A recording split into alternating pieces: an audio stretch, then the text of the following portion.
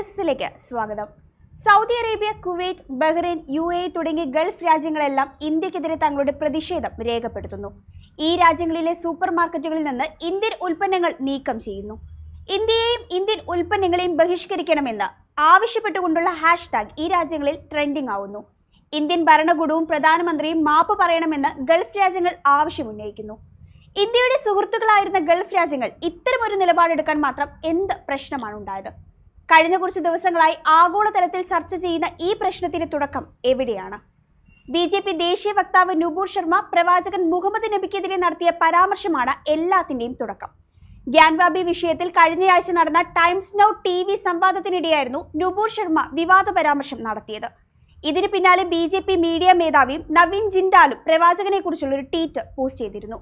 ശ്രീമതി ശർമ്മയുടെ അഭിപ്രായത്തിന് ശേഷം B J P ഭരിക്കുന്ന ഉത്തർപ്രദേശിൽ പ്രശ്നങ്ങൾ വർദ്ധിക്കുകയും കാൺപൂരിൽ വെള്ളിയാഴ്ച പ്രാർത്ഥനയ്ക്ക് ശേഷം രണ്ട് ഗ്രൂപ്പുകൾ ഏറ്റുമുട്ടി നാൽപ്പത് പേർക്ക് പരിക്കേൽക്കുകയും ചെയ്തു. കാൺപൂരിൽ സംഘർഷം ശക്തമായപ്പോഴും ബി ജെ പി നേതൃത്വം മൗനം പാലിക്കുകയായിരുന്നു. നുപൂർ ശർമ്മയുടെ വിവാദ പ്രസ്താവനയിൽ അവർ യാതൊരു നിലപാടും എടുത്തില്ലെന്ന് മാത്രമല്ല കണ്ടഭാവം നടിച്ചില്ല. പക്ഷേ കുറച്ചു ദിവസം കഴിഞ്ഞപ്പോൾ ബി ജെ പി ഇതേ പ്രസ്താവനയിൽ നിലപാട് വ്യക്തമാക്കി നടപടിയെടുക്കേണ്ടി വന്നു. എങ്ങനെ? എന്തുകൊണ്ട്? കാരണം പരാമർശത്തിനെതിരെ ഗൾഫ് രാജ്യങ്ങൾ പ്രതികരിച്ചു. ഇന്ത്യക്കെതിരെ അവർ പ്രതിഷേധം അറിയിച്ചു. നുപൂർ ശർമ്മയുടെ പ്രസ്താവന അധിക്ഷേപകരമെന്ന് വിശേഷിപ്പിച്ച സൗദി വിദേശകാര്യ മന്ത്രാലയം മതങ്ങളോടും വിശ്വാസങ്ങളോടും ബഹുമാനം വേണമെന്നാണ് ആവശ്യപ്പെട്ടത്. കുവൈത്ത് ഇന്ത്യൻ സ്ഥാനപതികളെ വിളിച്ചു വരുത്തുകയും ഈ ശത്രുതാപരമായ പ്രസ്താവനകൾക്ക് പരസ്യമായി മാപ്പ് പറയണമെന്ന് ആവശ്യപ്പെട്ടിട്ടുമുണ്ട്. ഇത് തുടരുന്നത് തീവ്രവാദവും വിദ്വേഷവും വർദ്ധിപ്പിക്കുന്നതിന് ഇടയാക്കുമെന്നും കുവൈത്ത് അഭിപ്രായപ്പെട്ടു. ദോഹയിൽ ഇന്ത്യൻ പ്രതിനിധിയെ വിദേശകാര്യ മന്ത്രാലയം വിളിച്ചു വരുത്തി ഔദ്യോഗിക പ്രതിഷേധ കത്ത് കൈമാറിയിട്ടുണ്ട്. ഇന്ത്യൻ സർക്കാരിൽ നിന്ന് പരസ്യമായി ക്ഷമാപണം ആവശ്യപ്പെട്ട ഖത്തർ ഈ പരാമർശത്തിൽ ഇന്ത്യ അപലപിക്കുമെന്ന് പ്രതീക്ഷിക്കുന്നതായും പറഞ്ഞു. ഇന്ത്യൻ ടി വി ഷോയിൽ ഇസ്ലാം പ്രവാചകരെ അപമാനിച്ചു എന്ന് ഇറാനിലെ വാർത്താ ചാനൽ റിപ്പോർട്ട് ചെയ്തിട്ടുണ്ട്. സൗദിയിലെ ജിദ്ദ ആസ്ഥാനമാക്കിയുള്ള അമ്പത്തേഴ് ഇസ്ലാമിക രാജ്യങ്ങളുടെ കൂട്ടായ്മയായ ഓർഗനൈസേഷൻ ഓഫ് ഇസ്ലാമിക് കോപ്പറേഷനും പ്രസ്താവനയെ അപലപിക്കുകയും ഇന്ത്യയിൽ ന്യൂനപക്ഷങ്ങൾക്കെതിരെ തുടരുന്ന നീക്കങ്ങളുടെ തുടർച്ചയാണ് പ്രസ്താവനയെന്ന് കുറ്റപ്പെടുത്തുകയും ചെയ്തു. മാലിദ്വീപിൽ പ്രതിപക്ഷം ഇന്ത്യക്കെതിരെ പാർലമെന്റിൽ പ്രമേയം കൊണ്ടുവന്നു. ധാർമ്മികവും മാനുഷികവുമായ മൂല്യങ്ങൾക്ക് വിരുദ്ധമായ എല്ലാ പ്രവർത്തനങ്ങളെയും തള്ളിക്കളയണമെന്ന് യു എയും പ്രതികരിച്ചിട്ടുണ്ട്. വ്യത്യസ്ത മതവിഭാഗങ്ങളുടെ അനുയായികളുടെ വികാരങ്ങൾ വ്രണപ്പെടുത്തുന്ന ഏത് തരം പ്രവർത്തനങ്ങൾ തടയാനും നടപടി ഉണ്ടാകണമെന്നാണ് അവർ വ്യക്തമാക്കിയത്. ഇതോടൊപ്പം ഖത്തർ കുവൈറ്റ് ഇറാൻ എന്നീ രാജ്യങ്ങൾ ഗൾഫിലെ ഇന്ത്യൻ ഉൽപ്പന്നങ്ങൾ ബഹിഷ്കരിക്കണമെന്ന് സാമൂഹ്യ മാധ്യമങ്ങളിൽ ആഹ്വാനം ചെയ്തിട്ടുണ്ട്.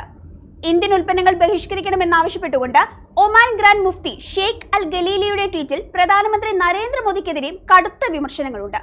Egypt Saudi Arabia Oman Qatar എന്നീ രാജ്യങ്ങളിൽ ഈ വിവാദ പരാമർശവുമായി ബന്ധപ്പെട്ടതും പ്രത്യേകിച്ച് മോദിക്കെതിരെയുള്ളതുമായ ഹാഷ്ടാഗുകൾ ട്വിറ്ററിൽ ട്രെൻഡിംഗ് ആണ്. മോദിയുടെ മുഖത്ത് ചെരുപ്പിന്റെ അടയാളം പതിപ്പിച്ച ചിത്രങ്ങളും പലരും പ്രചരിപ്പിക്കുന്നുണ്ട്. ഇന്ത്യയ്ക്ക് പുറത്തു മാത്രമല്ല ഇന്ത്യക്കകത്തും വിവാദ പ്രസ്താവനയ്ക്കെതിരെ പ്രതിഷേധം ശക്തമാവുകയാണ്. വെറുപ്പ് വിദ്വേഷം മാത്രമേ വളർത്തൂ. സ്നേഹത്തിന്റെയും സാഹോദര്യത്തിന്റെയും പാതയിലൂടെ മാത്രമേ ഇന്ത്യയെ പുരോഗതിയിലേക്ക് നയിക്കാൻ കഴിയുമെന്നും ഇന്ത്യയെ ഒന്നിപ്പിക്കേണ്ട സമയമാണിതെന്നുമാണ് രാഹുൽ ഗാന്ധി ഈ വിഷയത്തിൽ പ്രതികരിച്ചത്.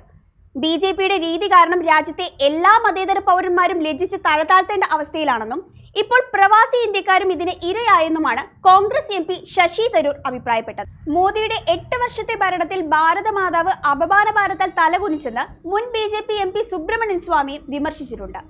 അതേസമയം പരാമർശങ്ങൾ വിവാദമായതിനെ തുടർന്ന് ദേശീയ വക്താവ് നുപൂർ ശർമ്മയെയും പാർട്ടിയുടെ ഡൽഹി ഘടകത്തിന്റെ മാധ്യമ വിഭാഗം മേധാവി നവീൻ ജിൻഡലിനെ ബി ജെ പി പ്രാഥമിക അംഗത്വത്തിൽ നിന്ന് കഴിഞ്ഞ ദിവസം പുറത്താക്കിയിരുന്നു.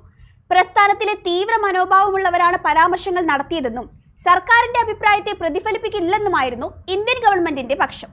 രണ്ടുപേരെയും പാർട്ടിയിൽ നിന്ന് പുറത്താക്കിയ തീരുമാനത്തെ സൗദി അറേബ്യയും ബഹ്റൈനും സ്വാഗതം ചെയ്തിട്ടുണ്ട്.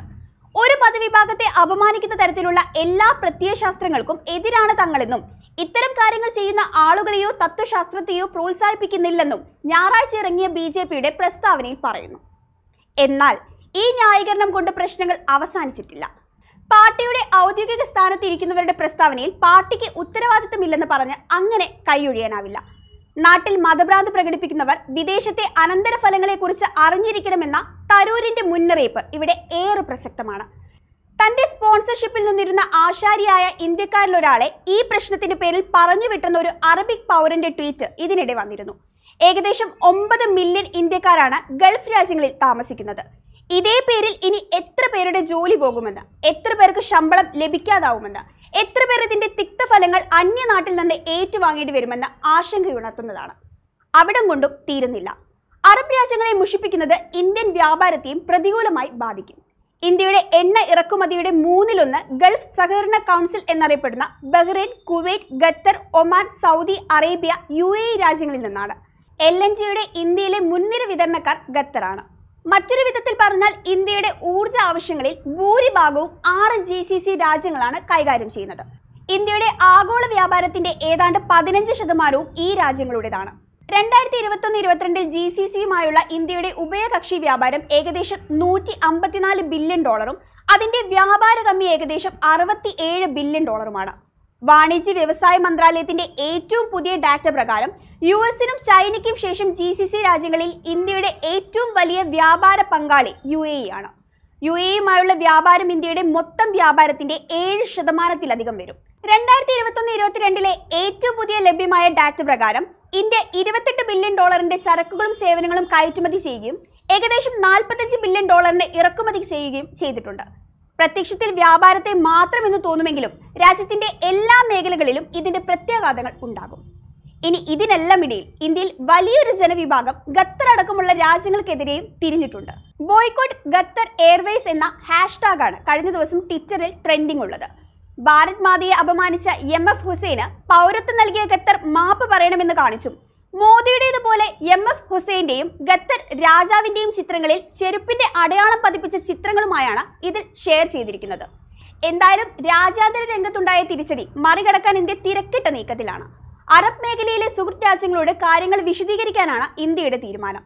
പാകിസ്ഥാൻ തുർക്കി തുടങ്ങിയ രാജ്യങ്ങളുടെ പ്രേരണയിലാണ് ഒ ഐ സിയുടെ ഇന്ത്യ വിരുദ്ധ നിലപാടെന്നാണ് ഇന്ത്യൻ വിദേശകാര്യ മന്ത്രാലയം കരുതുന്നത്. അറബ് രാജ്യങ്ങളെ പിടക്കുന്നത് ഇന്ത്യയ്ക്ക് ഗുണകരമല്ല. എന്തായാലും അറബ് രാജ്യങ്ങളുമായി അടുത്ത ബന്ധം സ്ഥാപിച്ചിരുന്ന നരേന്ദ്രമോദിക്ക് ഇത് വലിയൊരു തിരിച്ചടിയായിട്ടുണ്ട്. ഇതോടൊപ്പം വലിയൊരു ശതമാനം ഇന്ത്യക്കാർ നുബൂർ ശർമ്മയ്ക്കും നവീനും പിന്തുണ നൽകുന്നതും ഖത്തർ അടക്കമുള്ള രാജ്യങ്ങൾക്കെതിരെ പ്രതിഷേധിക്കുകയും ചെയ്യുന്നത് വിഷയം കൂടുതൽ സങ്കീർണമാക്കുമെന്നതും ഇന്ത്യൻ സർക്കാരും മോദിയും പ്രശ്നം പരിഹരിക്കാൻ അല്പം വിയർക്കുമെന്നതും ഉറപ്പാണ്.